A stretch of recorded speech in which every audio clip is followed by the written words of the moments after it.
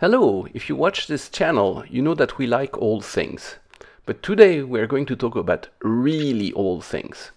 We're visiting scientists at the University of California, Berkeley. Life scientists, to be exact.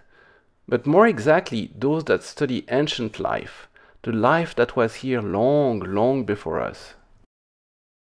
It all started with an email entitled Paleontological Data Fossilized on IBM 8-inch Floppies. It was from a French and a Dutch scientist, Antoine and Cindy. Dear CuriousMarc, it said, we are both paleobotanists. They went on to explain that they stumbled on what may be important fossil data from an old IBM mainframe of all things. It turns out they study plants that lived an astounding 300 million years ago, in a period called the Carboniferous. Now that's old. Fortunately, the 8-inch floppies aren't quite that old, but they were probably run on an IBM 360 or 370. Can we help them recover the data? You bet. Old enough for us. And that's how one of our most fascinating retro computing adventures started. All right. Welcome. Hi, Cindy. Welcome. How are you? Good. Thank you. Hi, how are you? Oh, Yeah. Boss. very good. We, we have to replay it because we met before, right? But uh, tell us a little bit about what you, what the research you did, and uh, how you came to me. Yes, we're working on material from the Carboniferous.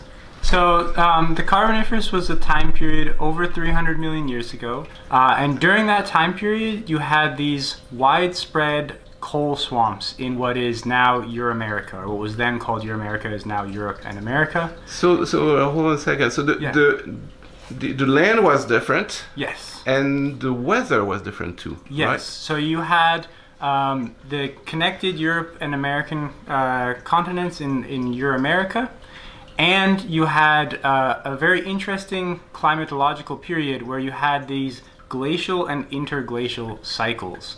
So you had periods of ever wet, which actually occurred during these glacial cycles.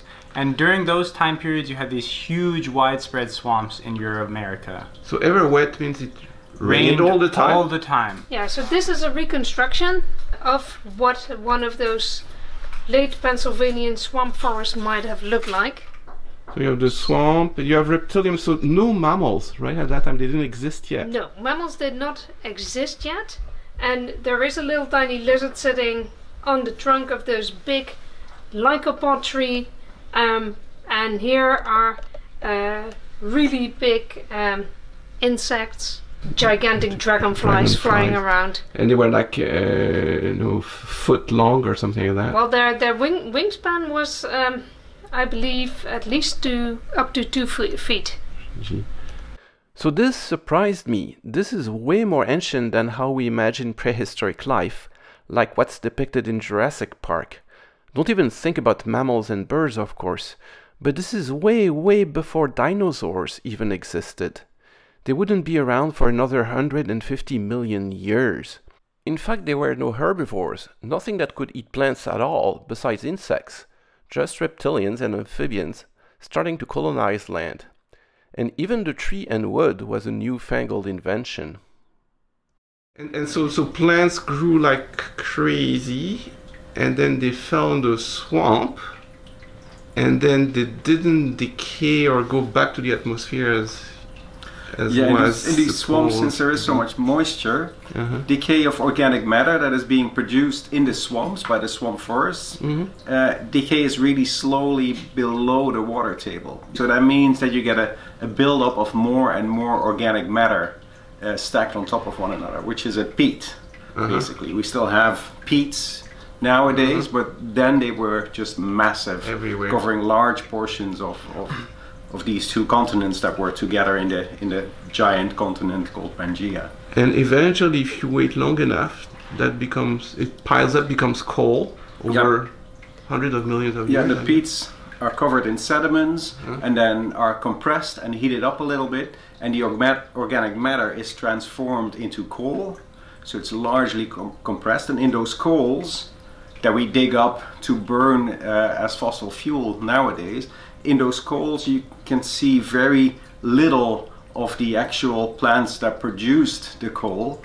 But fortunately, in the coal before it was coal, so still when it was still peat, sometimes you get these uh, uh, buildup of uh, carbonate nodules. So they encase the organic matter, the plant material that is there before it is being compressed. And as these carbonate nodules have formed, they are no longer compressible. So in those carbonate nodules, sitting in what is now coal, we see the plant material still in its old uh, anatomical shape, so to speak. Every little cell is preserved in those calcium carbonates. And that's what you guys are studying, and they're called coal balls, right? Coal Coal balls. Which are neither coal nor balls.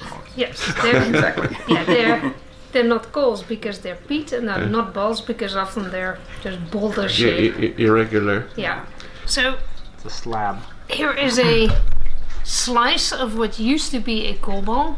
There's still some coal at the top and coal at the bottom. And the Ah. grayish part in between is actually the, the coal ball. So that's the, Right. the calcium carbonate that holds the anatomically preserved plant. And, and you told me that the miners hate it because it breaks their tools, or The miners did not like these coal balls because they're much harder than coal. If you've ever touched coal, you know that you, if you just squeeze it a little bit, it falls apart. This is as hard as a rock because it is a rock. and it's limestone, so you cannot burn it. So it's it's annoying and it is uh, uh, worthless. uh-huh. Except to us. So what paleobotanists do is, uh, if you have one of these coal balls, you, you dip part of uh, the surface into um, relatively mild acids. The limestone of that top layer is then gone. The plant matter that is trapped in the coal ball is then sticking out. Um, people then throw acetone over it and then put a peel of acetate on top of it, the organic matter will more or less melt into the plastic layer. And what you do then eventually is pull it off, and a very thin layer of this coal ball is trapped in the acetate. And the structure it. So what people then do is go to a microscope, put it under the microscope, and then you can try to see if you can recognize what is what forms this coal ball. Mm-hmm. These things over here are rootlets of a lycopod that are uh, growing into the peat. Yeah, one of one of those uh, pre uh, trees that really are the, the highest ones in uh, in the swamp communities Uh-huh. and they have pretty specific roots. Now you can see what kind of detail is possible in these in these peels. All these little tiny circles you're seeing are actually cells. So this is a fossil of cell that's 300 million years old. Yeah. It's 300 million years old cells. So this is the vascular bundle inside the root. So this is where um, uh, water is being transported up from the roots to uh, the top of the plants. So, oh, the whole, this is the root? Yep. And this is the vascular whatever? Yep. Ah. Fine, you can see the individual cells in the root pretty good. I think that these, what I just showed you, are stigmarian rootlets. I'm almost 100% sure. But how come you found all that old data? So this data set was generated by Professor Tom Phillips of the University of Illinois uh, Urbana-Champaign. Uh, and he started collecting coal balls at least as early as the 60s, probably before that, um, throughout Illinois and the rest of coal country in the US. So wherever you can imagine coal coming from, he built a warehouse to house these coal balls. Um, that's still there, and it has over 50,000 coal balls in it. And then over the next decades, in the 60s, 70s, 80s, into the 90s, and so forth, they sectioned these coal balls, as Cindy just described, and they examined them systematically.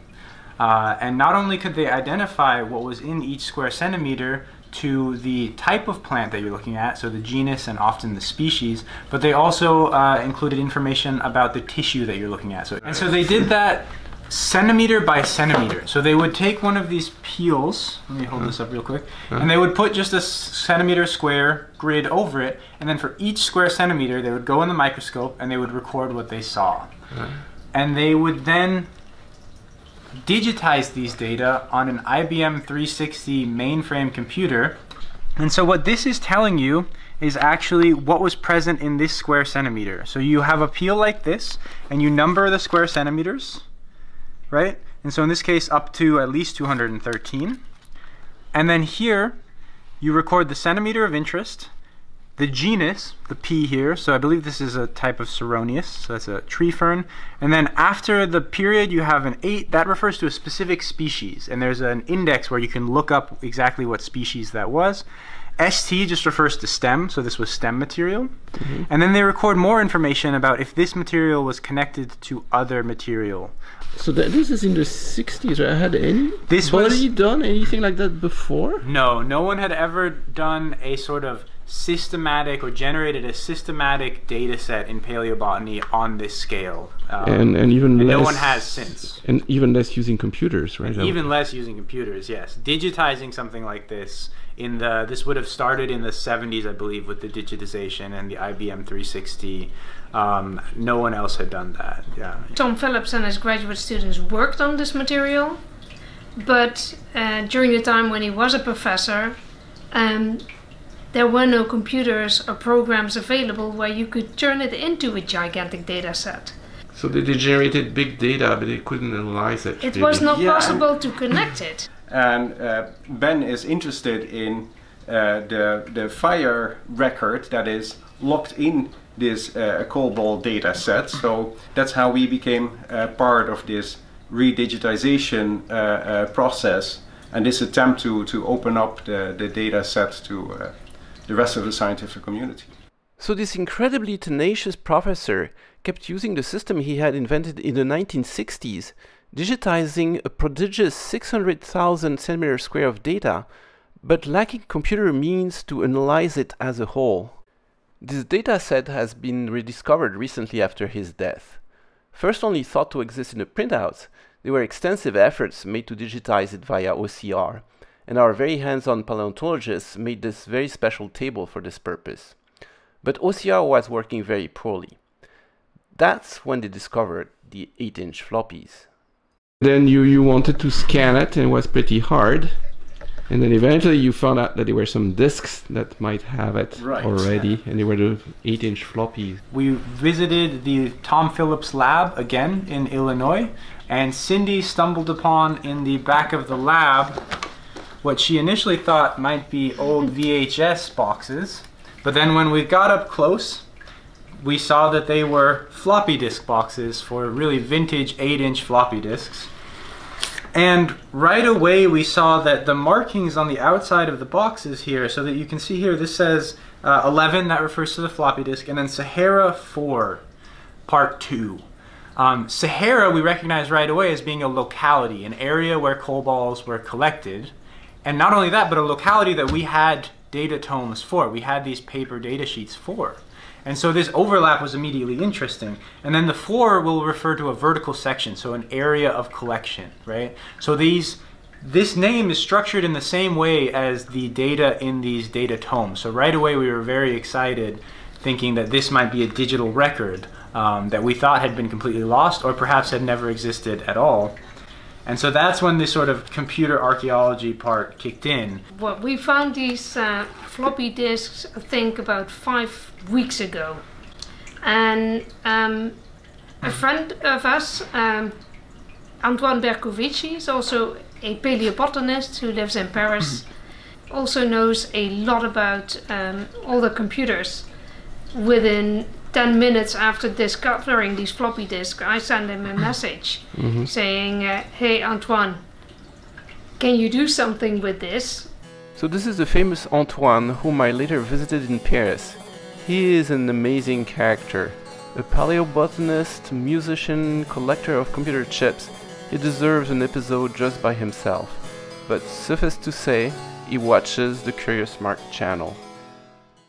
And he immediately contacted um, U, and from then it has been a roller co- coaster of discovery and uh, yeah, paleo data mining.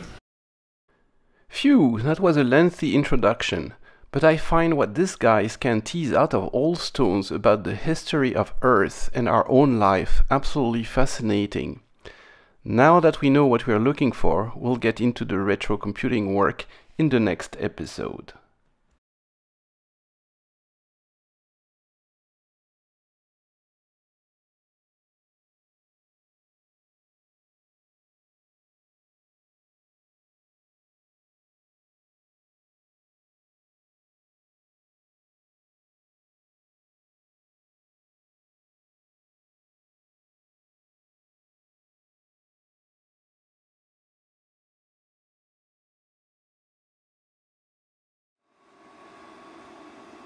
Oh, it's reading your data.